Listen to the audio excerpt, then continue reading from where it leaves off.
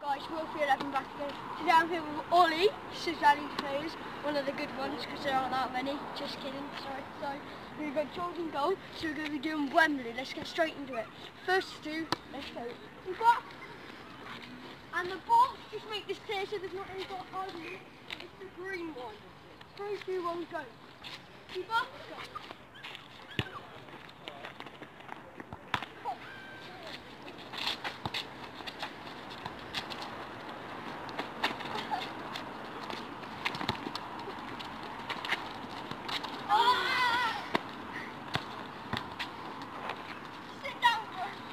He's already sitting down.